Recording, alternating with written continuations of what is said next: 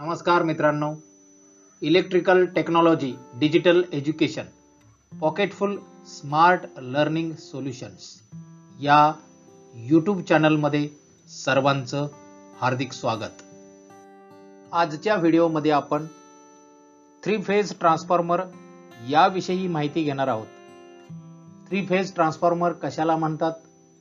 त्याचा वापर कुठे केला जातो? ट्रान्सफॉर्मरचे प्रकार किती आहेत? त्याची कार्यतत्व प्रणाली कोणती आहे?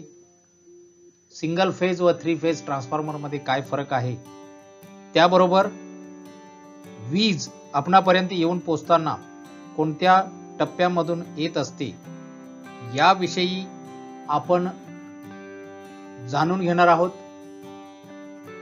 चला तर सुरुवात करूया. थ्री फेज ट्रान्सफॉर्मर मित्रांनो हा व्हिडिओ आवडल्यास लाईक करा शेअर करा. काही सूचना असतील किंवा शंका असतील तर कमेंट बॉक्समध्ये जरूर लिहा. आपण पहिल्यांदाच व्हिडिओ बघत असाल तर चॅनल सबस्क्राईब करायला विसरू नका. महत्त्वाच्या नोटिफिकेशनसाठी बेल आयकॉन प्रेस करा. चला तर सुरुवात करूया. आपण जी वीज वापरतो ती इलेक्ट्रिक पॉवर इलेक्ट्रिकल एनर्जी विद्युत ऊर्जा किंवा एकविसाव्या शतकातील ग्रीन एनर्जी म्हणून ओळखली जाते. ती वीज कोणत्या तरी एका जनरेटरमध्ये तयार करतात. निसर्गातील विविध ऊर्जा स्रोतांचा वापर करून वीज निर्मिती केली जाते. विद्युत निर्मिती केंद्रामध्ये जनरेटर फिरवून वीज निर्मिती केली जाते. ती वीज आपल्या घरापर्यंत येण्यापूर्वी विविध टप्प्यातून प्रवास करून विविध यंत्रणा पार करत करत क्षणार्धात आपल्या सेवेसाठी हजर राहते. या प्रवासामध्ये अनेक घटक काम करतात परंतु सर्वात महत्त्वाचा घटक काम करत असतो तो म्हणजेच three phase transformer three phase transformer हा एका सर्किटमध्ये वीज दुसऱ्या सर्किटमध्ये स्थानांतरित करत असतो. त्याला इंग्रजीमध्ये ट्रान्सफॉर्मेशन असे म्हणतात. ट्रान्सफॉर्मर हा इलेक्ट्रिकल एनर्जी ट्रान्सफॉर्म करतो म्हणून त्याचे नाव ट्रान्सफॉर्मर असे ठेवण्यात आले असावे. इलेक्ट्रिक पॉवर आपल्या घरापर्यंत कशी पोचते ते पाहूया. जनरेटर अथवा अल्टरनेटरमध्ये तयार होणारी वीज पॉवर स्टेशनमध्ये असणाऱ्या सबस्टेशनमधील ट्रान्सफॉर्मरच्या सर्किटमध्ये प्रवेश करत ट्रान्सफॉर्मरच्या दुसऱ्या सर्किटमधून बाहेर पडते. या टप्प्यावर तिचा व्होल्टेज लेवल वाढवतात. ती वीज extra high tension E S T national ग्रीडमध्ये प्रवेश करून हजारो किलोमीटर प्रवास करत आपल्या गावाजवळील अथवा मोठ्या शहराजवळील रिसिव्हिंग स्टेशनपर्यंत पोचते इथे ट्रान्सफॉर्मर बसवलेले असतात. त्यातील सर्किटमध्ये प्रवेश करून ती बाहेर पडते तेव्हा ती तिच्या मूळ रूपात प्रकट होते. परंतु ती सर्वसाधारणपणे वीज वापरली जाऊ शकत नाही. म्हणून त्याचा पुढचा प्रवास सुरू होऊन पॉवर पोल्सच्या माध्यमातून आपल्या घराजवळील ट्रान्सफॉर्मर ड्रम पर्यंत पोहोचते इथे पुन्हा एकदा तिची व्होल्टेज लेवल कमी करून आता सर्वसाधारण वापरण्यालायक अशी वीज आपल्या घरापर्यंत पोहोचते विजेच्या एकूण प्रवासामध्ये मुख्य तीन टप्पे असतात. पहिला टप्पा म्हणजे जनरेशन वीज निर्मिती. इथे वीज अकरा हजार होल्ट किंवा इलेवन के व्ही जनरेट केली जाते. ट्रान्सफॉर्मरचा वापर करून तिची व्होल्टेज लेवल चार लाख किलो होल्ट पर्यंत करतात. दुसरा टप्पा ट्रान्समिशन. वहन अथवा ट्रान्सपोर्टेशन.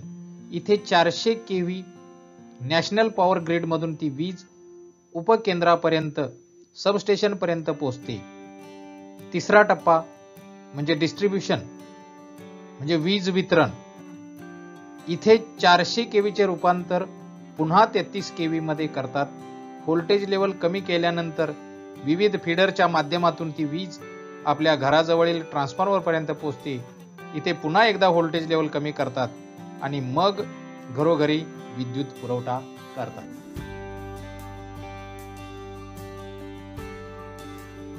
या पॉवर फ्लो चार्टचा अभ्यास केल्यानंतर तुमच्या लक्षात येईल की जनरेटरमधून तयार होणारी वीज.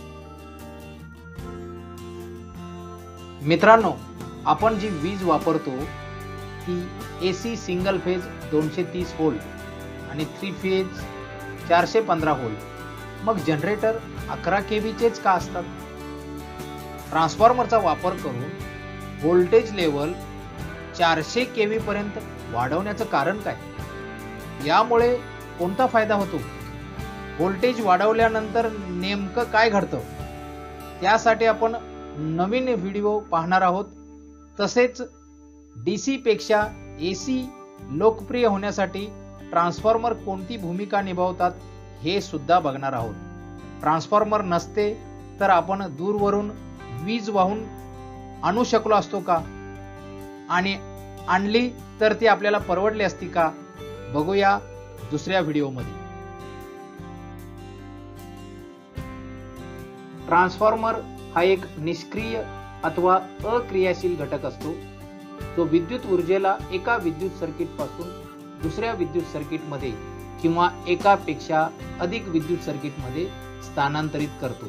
Transformer is a inactive or passive electric energy transforming device.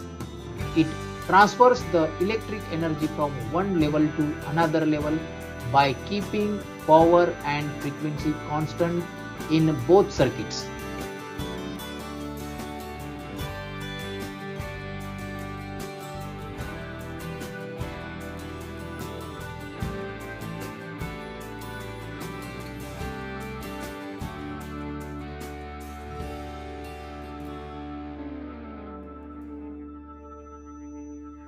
Transformer कोणत्या तत्वानुसार कार्य करतात?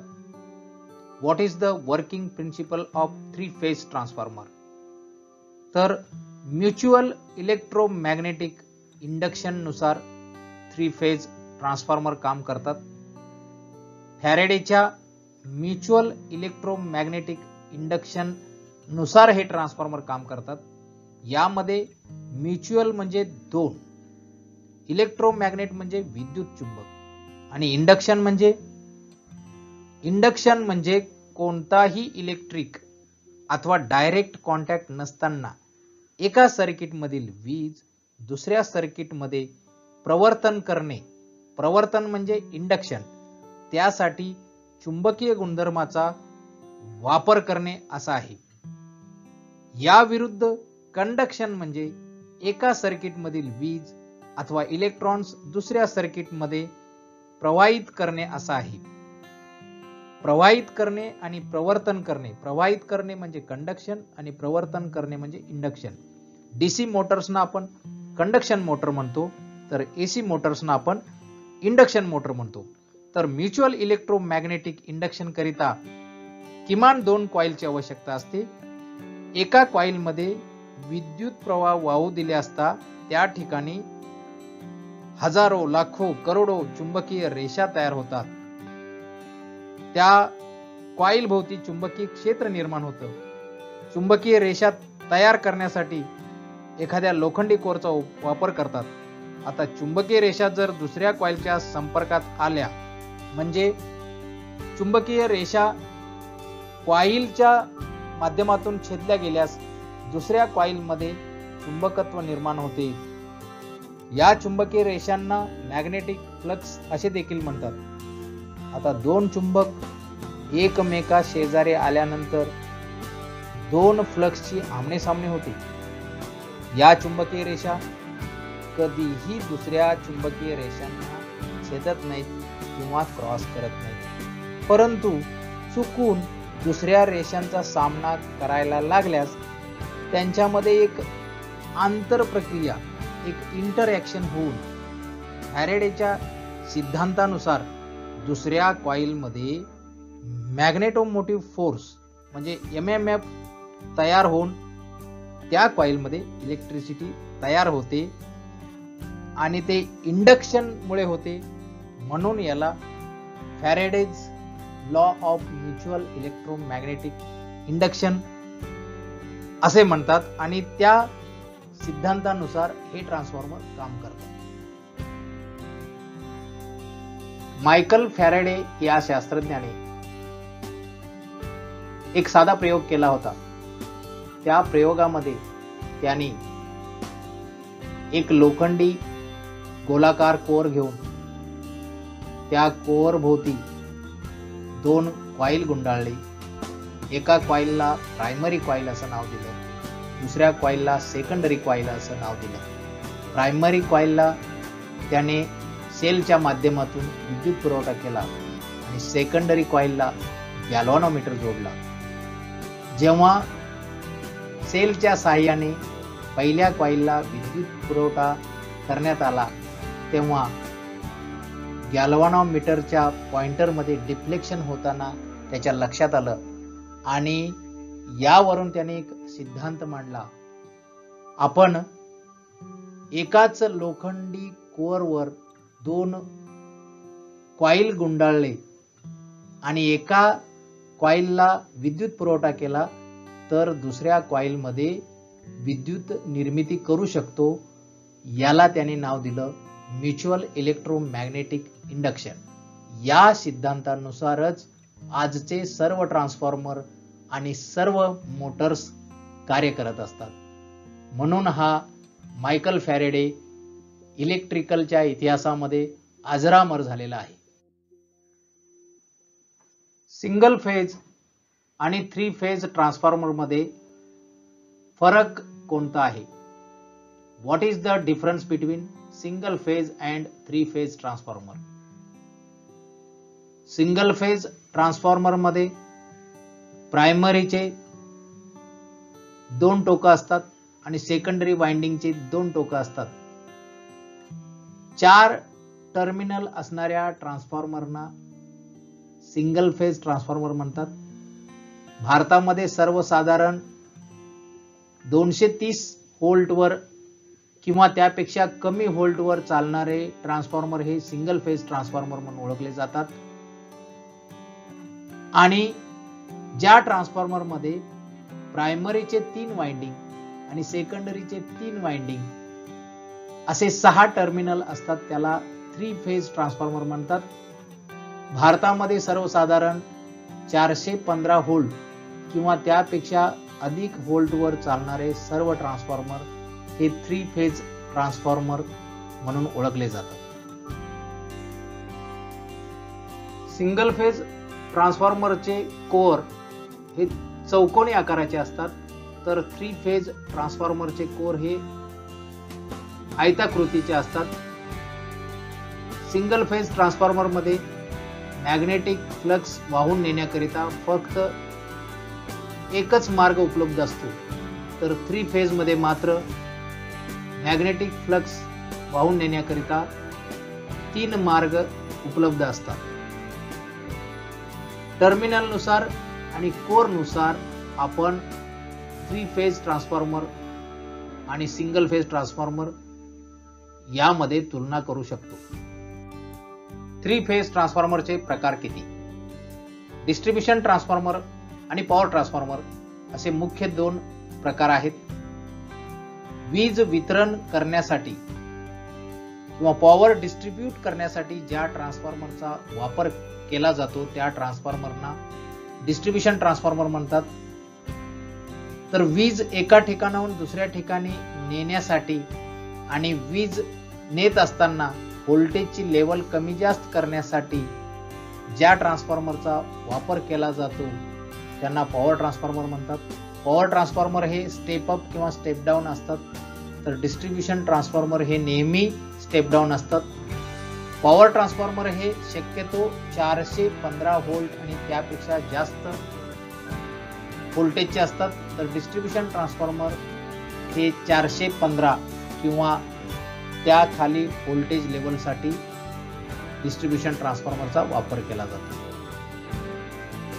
डिस्ट्रीब्युशन ट्रान्सफॉर्मर हे आकाराने छोटे असतात तर पॉवर ट्रान्सफॉर्मर हे आकाराने मोठे असतात. डिस्ट्रीब्युशन ट्रान्सफॉर्मरमध्ये सिंगल फेज घेण्याची सोय असते तर पॉवर ट्रान्सफॉर्मरमध्ये सिंगल फेज घेण्याची सोय नसते.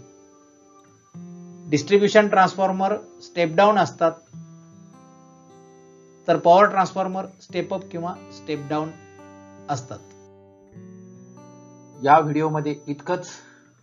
मित्रांनो व्हिडिओ कसा वाटला जरूर कळवा. भेटूया पुढच्या नवीन व्हिडिओमध्ये. तोपर्यंत धन्यवाद.